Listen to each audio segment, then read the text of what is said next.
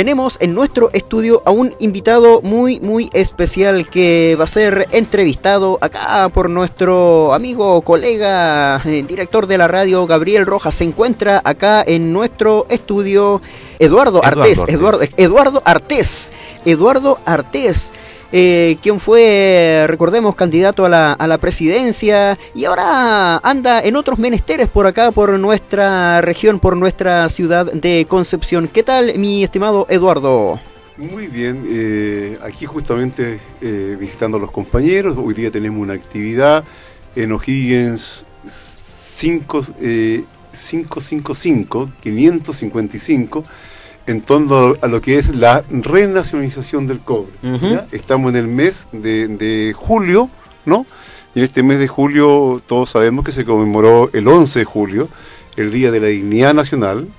Es el día en que el compañero Allende planteaba eh, que era el paso adelante para la segunda independencia, una independencia económica que también significaba avanzar en lo político, porque él tenía muy claro que solamente eh, los trabajadores y el pueblo tenían una partecita, y no el poder en sí, sino que una partecita que, que era el gobierno.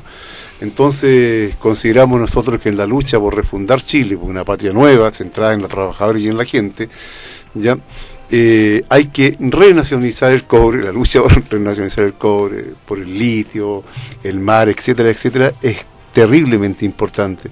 Entonces, eh, hemos asumido esta responsabilidad, eh, hemos realizado actos importantes en varias regiones, en la quinta región, en la sexta, en la región metropolitana, ¿no? en torno a lo que significa tener presente no como algo nostálgico, lo que fue la nacionalización del cobre, sino como un problema planteado para hoy día.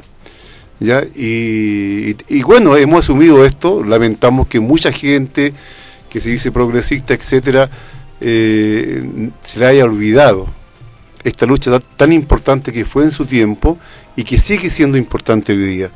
Porque no puede ser que la Confederación de Trabajadores del Cobre no haya realizado un acto macizo en torno a esta fecha. No puede ser que la CUT no lo haya hecho.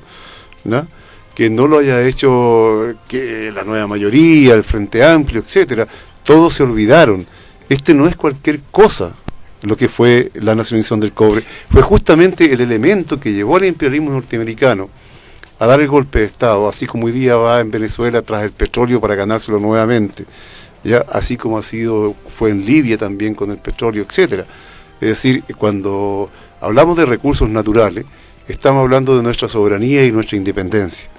Entonces, claramente eh, nos parece extraño que toda esta gente que se reclama progresista no lo haya hecho para que no se asusten los norteamericanos y, vean que ellos pueden ser también una alternativa de gobierno. Entonces hoy día a las 5 de la tarde vamos a estar en, la calle O'Higgins 555 con esta actividad en torno a lo que es la nacionalización o la renacionalización del cobre, haciendo un homenaje, por cierto, a lo que fue el 11 de julio, el Día de la Dignidad Nacional, pero eh, actualizado a partir de las demandas de hoy día. Buenos días, Eduardo. acá nuevamente en Radio Lorenzo Arena, eh, ustedes nos solicitaron esta, esta entrevista, aprovechando su visita, en este caso, por, por la actividad que tienen esta tarde, que ya vamos a reiterarla, ¿cierto?, al final de la entrevista para que usted vuelva a invitar a los penquistas, ¿cierto?, a toda la gente del Gran Concepción a, esta actividad. Pero, eh, como usted fue, fue eh, candidato a, a, la presidencia, usted, usted es parte de la de, de la nueva, cierto, diríamos, de los últimos liderazgos, cierto, políticos que, que se vieron en Chile en lo que fue la, diríamos, la, la coyuntura electoral del 2017. Y, y, no, y no, no deja de, de llamar la atención de que usted siempre, bueno, que viene a Concepción, visita este medio de comunicación porque también usted me imagino que lo, valoriza como uno de los pocos que lo, lo recibe y nosotros también cumplimos una función de justamente visibilizar eh, aquellos discursos que, que probablemente no tienen poca cabida o, no tienen muchas posibilidades en los medios. Pero lo que, lo quiero preguntarle, y, yo, creo que a, todos los penquistas les, interesa eh, saber un poco la visión que tiene el, el, Partido Comunista de Acción Proletaria, que usted conduce. A, través de su Secretaría eh, General, ¿cierto?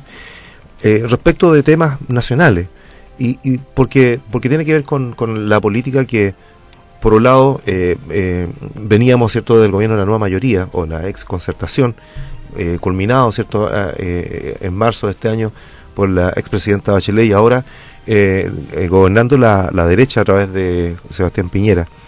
Ya han, ocurrido situaciones en estos días que tienen que ver con, con la aprobación de o con promoción de proyectos de ley que eh, de alguna manera eh, eh, nos, nos tienen nos tiene a todos a todos el mundo preocupado tiene que ver con el tema del estatuto laboral juvenil por ejemplo las expresiones de los de, algunos de algunos ministros en esta misma semana esto de los bingos me imagino que usted como profesor también deberá tener una opinión respecto de, de las expresiones de esos, de esos eh, ministros, ¿cierto?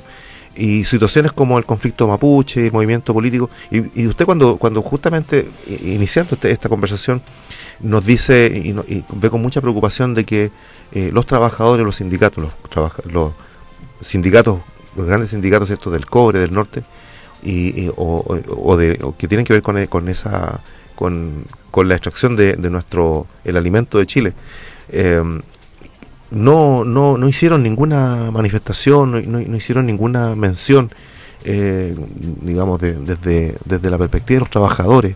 Entonces, esto, todo esto tiene que ver con, con también eh, tener una opinión respecto, saber su opinión respecto de cómo ve usted el movimiento social también. Mira, aquí hay un tema que para nosotros es central. En países como Chile y en toda América Latina, o se gobierna con el imperialismo y la oligarquía o contra ellos. Ahora, cuando yo digo contra ellos no significa de que eh, vamos a eliminar este, este, tema o esta contradicción de una. Es un proceso, ¿no? Entonces, claramente, eh, para acceder a los órganos de gobierno, como en el caso nuestro, hay gente que empieza a dar certificado de buena conducta, ¿no?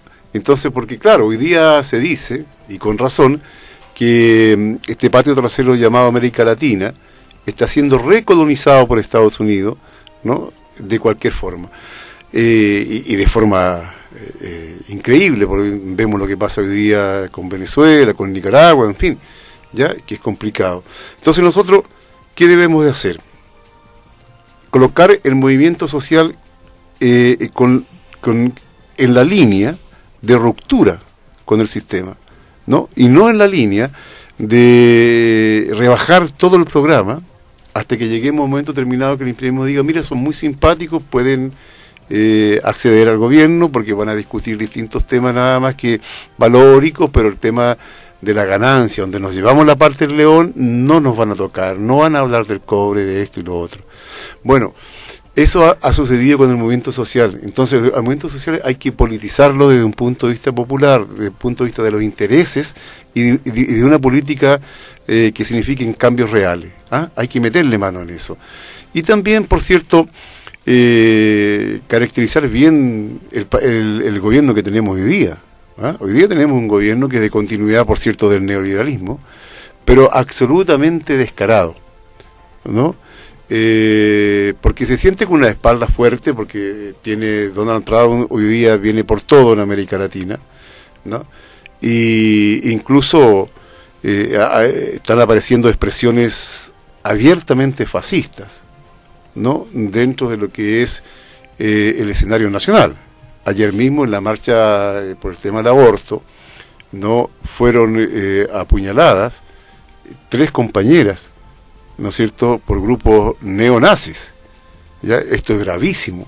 Ahora, ¿desde cuándo esta gente se siente con las manos libres? ¿no? ¿Cómo eh, eh, está siendo apoyado inclusive desde un punto de vista institucional esta tendencia? Cuando ah, eh, se desarrolla este famoso comando jungla, cuando hay una política represiva hacia el movimiento popular con mucha fuerza. ¿ya? Es decir, todo esto es una tendencia de fasticización de un sector determinado de la derecha. Frente a eso nosotros pensamos de que hay que responderle desde la organización popular. No estoy diciendo que responderlo en forma individual, ni estoy llamando a casa de brujas, ni cosa que se parezca. Pero las organizaciones populares tenemos que responder, ¿cierto?, a esta tendencia que si va, sigue creciendo, nos vamos a encontrar con grandes problemas y los perjudicados siempre vamos a ser los trabajadores y el pueblo quienes vamos a ser las víctimas de este fanatismo ultraderechista. Eso, eso es, eh, es muy preocupante porque de alguna manera eh, pone como, como, como salida, eh, digamos, única, ¿cierto? A, a, esa respuesta. ¿Cómo, ¿cómo, ve usted ¿Cómo ve usted en este caso la respuesta que tendría que dar el movimiento popular frente a esas acciones tan violentas?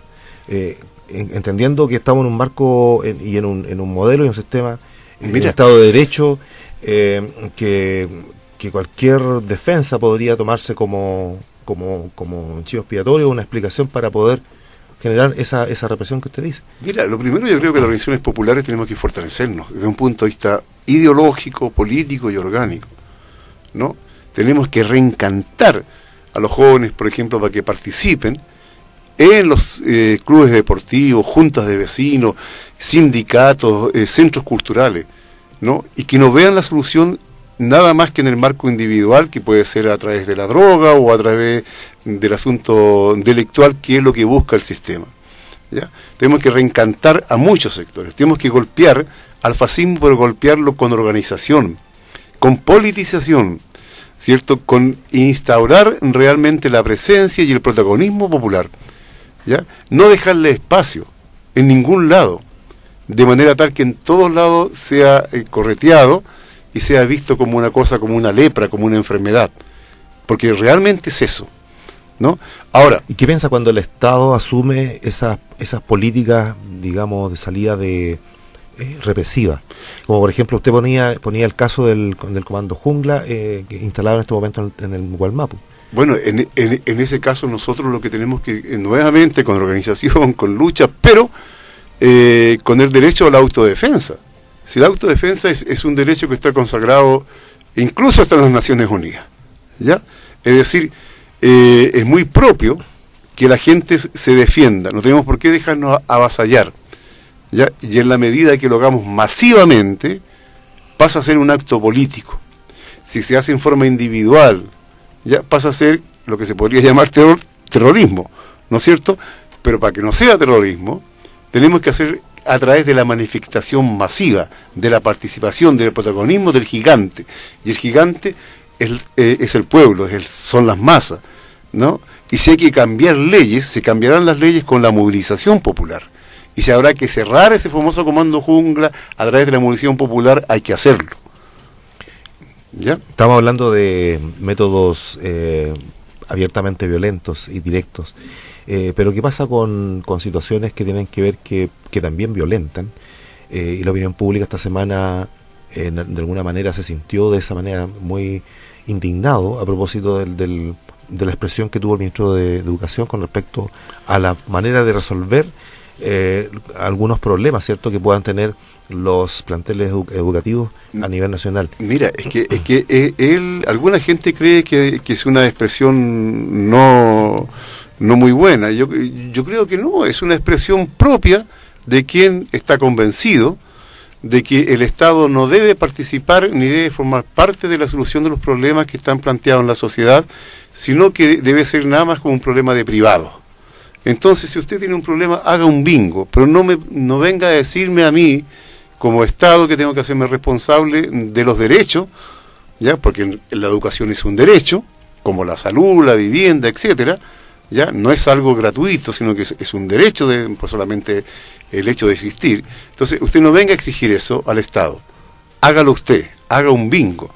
Incluso esto es, muy, ¿cómo se llama? lo puede tomar hasta anecdótico, porque me recuerdo que en el gobierno pasado de, ¿cómo se llama?, de Piñera, eh, se discutía si los bingos eran legales o no legales. O sea, ya cortémosla. Te fijas, entonces hoy día sale con eso. Es, es una concepción que ellos tienen. Es decir, no tenemos por qué hacernos cargo de nada, resuélvetela solo. Como que el Estado fuera un ente que no fuera eh, o, que no estuviera para, estar al servicio de la gente. ¿ya? La otra, por ejemplo, el ministro de, eh, Economía, ¿no? cuando fue entrevistado por Mochati en, una radio una vez pasada, ¿no? y, sale con una barbaridad planteando, y este es un tema muy grave, porque este caballero debiera estar eh, hoy día por lo menos, como se llama, en un tema judicial, cuando sale planteando de que él considera que es justo, que es correcto, que la gente eh, saque el, dinero de acá y que lo invierta en el extranjero. O sea, un ministro de Economía cuyo afán principal es fortalecer la economía desde un punto de vista nacional, atraer inversores extranjeros incluso al país, está llamando a todo lo contrario. O sea, pero es que eso es un acto criminal porque significa menos fuentes de trabajo, significa enajenar la, eh, la plusvalía, la ganancia que se, que se ha producido en Chile como consecuencia de la explotación de los trabajadores, de la transformación de la materia prima, etcétera. Todo eso, enajenarlo y mandarlo al extranjero.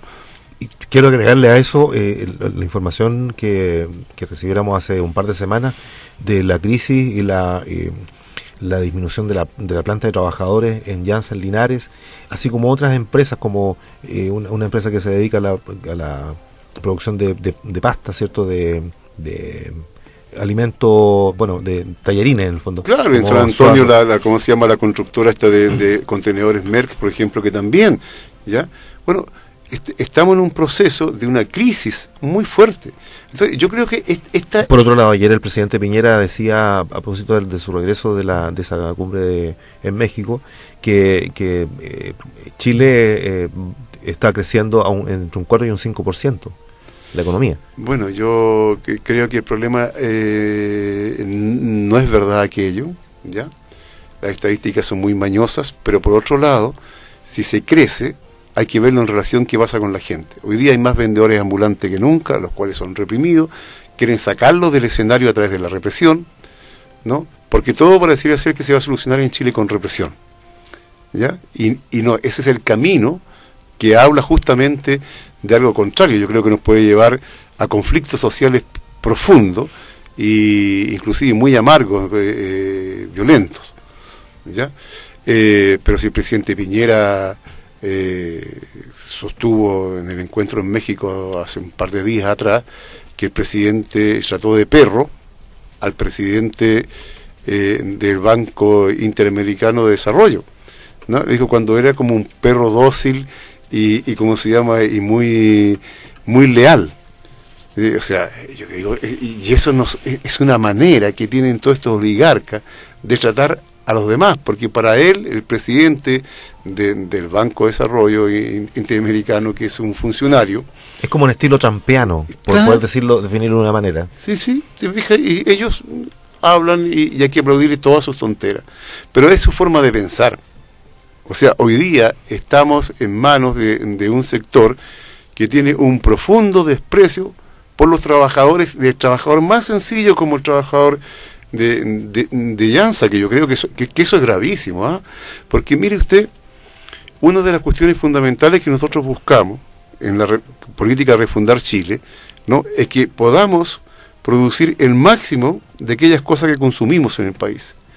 Entonces, cuando el azúcar no va a ser eh, eh, producida en el país, sino que toda importada, ¿ya? a una costa de, ¿cómo se llama?, de agricultores, inclusive medianos y grandes. Esto es una cadena ahí ¿ya? de producción. 4.000 trabajadores directos, en consecuencia que por lo menos hay 4.000 más indirectos. Y sus familias. Y sus familias. Es decir, estamos hablando de, algo muy potente. Y ellos no tienen ningún problema, dicen que son las reglas del juego, que el problema es así funciona la economía, y punto. ¿Te dije Entonces, no, ahora sale más barato comprar el azúcar afuera, se compra afuera y se acabó. Y usted, no sé, pues, reconviértase, eh, siembre otra cosa, haga, eh, en fin, es un problema suyo. Y el Estado se, se, se lava las manos. El, Estado entonces está al servicio de qué? A servicio exclusivamente de la ganancia, de, de, una ganancia para un sector. Porque uno puede decir, mira, que sale más caro producir azúcar aquí. Sí, pero si hay una política social, vamos a ver que sale mucho más barato, ¿Por qué? Porque estamos creando riqueza, tecnología, estamos dando empleo a una cantidad de gente, se están produciendo otras áreas de desarrollo, que también significa riqueza. Entonces hay que ver en la globalidad y no en la particularidad nada más. Ellos hoy día están en la particularidad. Mira, eh, se están privatizando los bordes costeros, ¿ya? Eh, parques nacionales. O sea, a ver, dejen algo para Chile. O sea, la desnacionalización absoluta del país, la, eh, eh, destruir a las pocas eh, industria como la industria azucarera, cuando lo que necesitamos es más industria en el país. ¿Ya? Este país no se sostiene desde un punto de vista de desarrollo ni siquiera capitalista sin industria.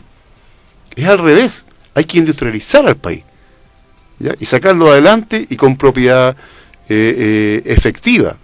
Pero si nosotros vamos a convertir a nuestro país en el paraíso de, los resorts privados a la orilla del mar, ¿no? donde no va a tener acceso la gente, ¿ya? Eh, bueno, vamos a ser un, remedio de, país independiente donde van a venir algunos grupos económicos a tener ganancias con hotelería, ¿no? para que venga mm, la pijería internacional a pasarlo bien en nuestros eh, parajes, qué sé yo, naturales que tenemos, en nuestros parques nacionales, etcétera, para que vengan a gozarlos ellos, va a tener un costo determinado y que no lo goce el pueblo ni los trabajadores chilenos. O sea, hoy día estamos en un proceso de desnacionalizar todo. ¿ya? O sea, imagínate qué importante entonces la lucha por renacionalizar el cobre, el litio, en fin, todos nuestros recursos. Don Eduardo Ortés, eh, ex candidato a la presidencia, nos visita esta mañana en una entrevista exclusiva para Radio Lorenzo Arenas.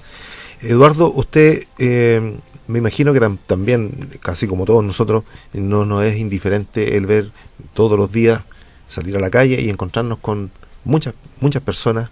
Eh, este es el fenómeno migratorio, ¿cierto? ¿cómo, cómo, lo ve, ¿Cómo lo ve usted como Usted, usted yo, sé que usted es profesor, ¿cierto? Profesor de, Estado, de historia, ¿verdad? Soy profesor de enseñanza básica, básica y he trabajado siempre en ciencias sociales. En ciencias sociales. Bueno, eh, desde ese punto de vista, me imagino que usted tendrá una opinión respecto de cómo de cómo un país debe afrontar esta, estos fenómenos, fenómenos migratorios y, y sobre todo de cómo, de, porque cuando usted antes mencionaba esto, estos apuñalamientos de las... Eh, eh, mujeres, ¿cierto? Que ayer se manifestaron en, a, lo largo de todo Chile, porque aquí también hubo marcha en Concepción, y que eh, lamentablemente eh, se, se, ocurre, un, ocurre este hecho violento, extremadamente violento, que tiene que ver con, con, con este irrupción del fascismo y esta cosa de la discriminación. Entonces, nosotros no, día a diario nos damos cuenta de que, de que nosotros también en Chile discriminamos a quienes eh, eh, vienen llegando y no asumimos eh, como una postura, una posición solidaria con personas que se supone que vienen en, una situación de desmedro, ¿cierto? Que vienen, que vienen por una situación extrema en sus países, que tuvieron que moverse, ¿cierto?, hacia nuestro país. aquí hay un fenómeno que es el siguiente. La gente sale de sus países porque han sido destruidos por una superexplotación de alguien. Haití, no, no, es una maldición que vino desde el cielo. Claro, eh, digamos que ahí influyó también el, fenómeno natural que fue el terremoto. Que, sí, pero las empresas norteamericanas no delavaron hasta los cerros de Haití usando la leña, ¿no es cierto?, para la explotación minera, porque salía más barato mm, usar como combustión, importó nada que, que el problema alimentario quedara en el suelo y no se produjera nada para la alimentación del pueblo. ¿ya? Y eso hicieron las empresas mineras norteamericanas y francesas en Haití. Ellos son responsables. Ahí tuvo la dictadura de eh, Papadoc y después del hijo de Jean-Claude Duvalier, ¿no es cierto?, durante años, que eran verdaderos monigotes de estas empresas que se llevaron toda la ganancia hasta destruir prácticamente Haití. Es normal entonces que la gente de Haití quiera salir, como de cualquier país. El tema es el siguiente, que en países como nosotros, ¿ya? esta burguesía y esta oligarquía cínica, porque por un lado a sus cachorritos, a sus hijos, le meten toda esta cultura racista, discriminatoria, horrible, pero por otro lado, ¿no? Para tener mayores ganancias, necesitan mano de obra barata, ¿no? Y en un momento determinado, como lo hicieron, ya eh, traen prácticamente un, millón y medio de migrantes, de una. Hoy día, claro, dado, digamos, la perspectiva de crisis en que, en que viene Chile, eh, hay que regular aquello porque si no puede ser un problema social muy grande. ¿no? Entonces hoy día ya no se necesitan tantos emigrantes, ya lograron una tasa determinada de mano de obra para poder, digamos, tener las ganancias que ellos esperan. ¿No? Ellos no tienen ningún problema en abrir las puertas nuevamente a los inmigrantes en cantidades, pero al mismo tiempo usarlos como el chivo expiatorio para echarle la culpa a ellos de los temas de bajo sueldo, de, cesantía, etcétera, ¿no? Porque claro, el inmigrante eh, viene a trabajar en peores condiciones que el trabajador nativo, ¿no? Porque no conoce las leyes, está en un país extranjero, tiene miles de problemas, tiene miedo a la expulsión, eh, no participa tanto en el sindicato, porque también tiene miedo, ¿no? Eh, en fin, eh, entonces claramente hay, una, hay un doble estándar y que es muy bien usado, ¿no es cierto?, por los propios capitalistas, porque es quienes agreden a los inmigrantes quienes impulsan una política racista y de segregación son los mismos, ¿no es cierto?, que eh, necesitan esta mano de obra barata para obtener eh, sobre ganancias, ¿no? Entonces, es horrible. Ahora, desde un punto es una realidad ya instalada. Ahora, realidad, desde un punto de vista popular, ¿cómo, lo enfrentamos? Yo creo que, eh, como lo está enfrentando el pueblo, fíjate que eh, en distintos lugares donde hay muchos inmigrantes, eh, es acogido ¿no? por, los propios pobladores, forman parte de la vida, no hay fraternidad, hay cooperación.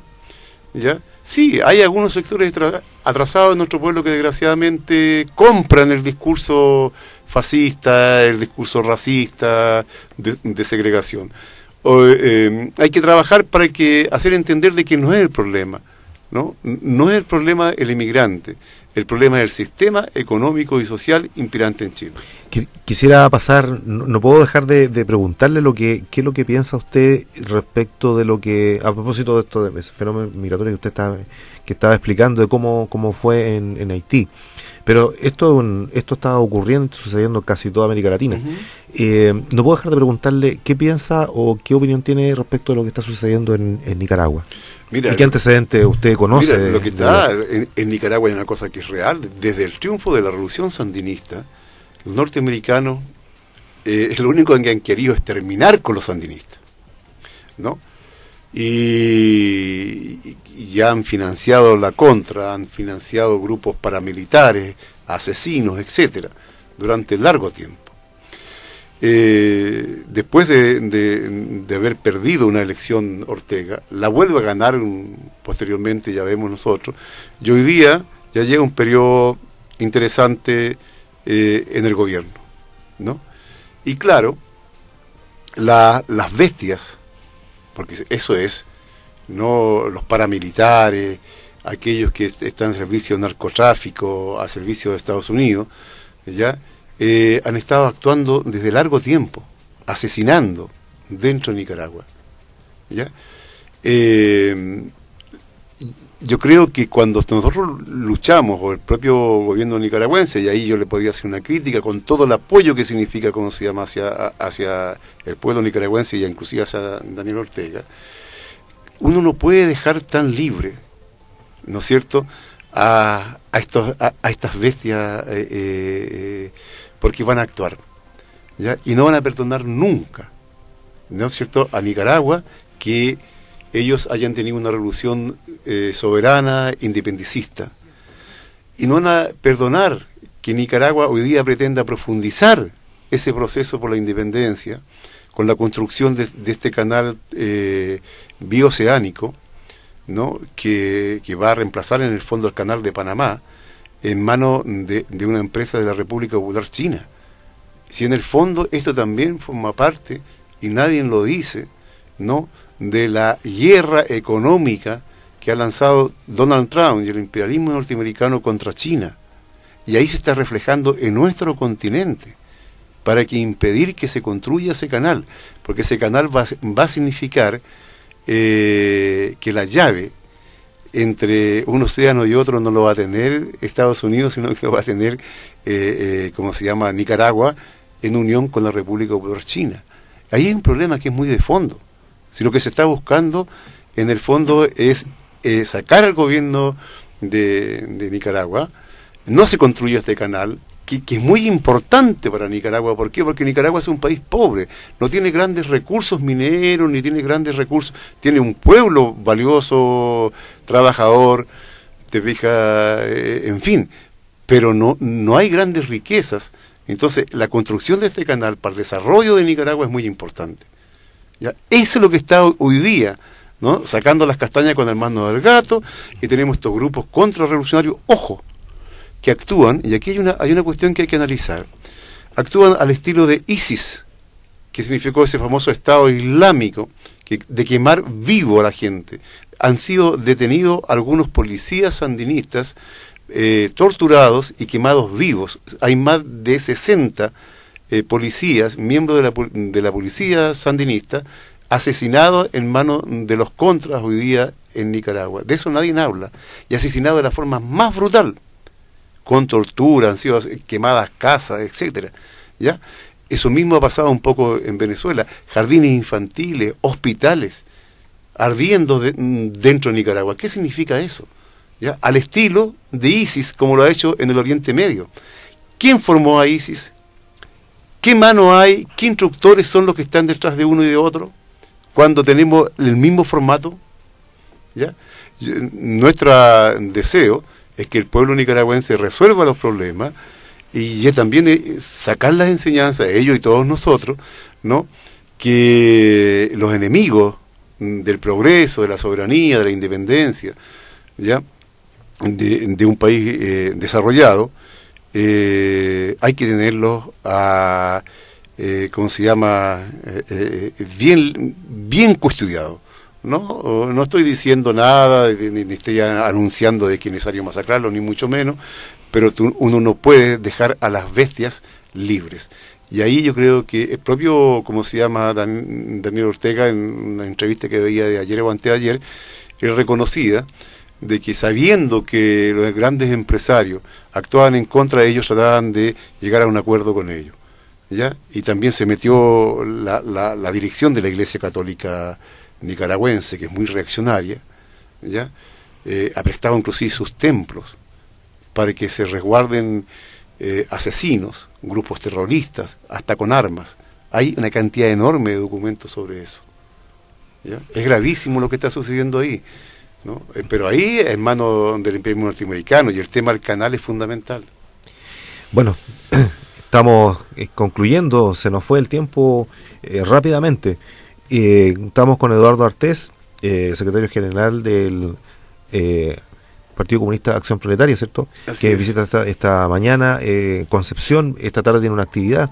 vamos a pedirle que reitere eso para que invite a todos aquellas y aquellos que quieran escuchar, ¿cierto? Esa, esa, esa exposición y sobre todo participar en una, conversación que posteriormente se irá a me imagino, para que para poder entregar estos elementos, ¿cierto? Que puedan servir para eh, todo el, el quehacer de la lucha popular.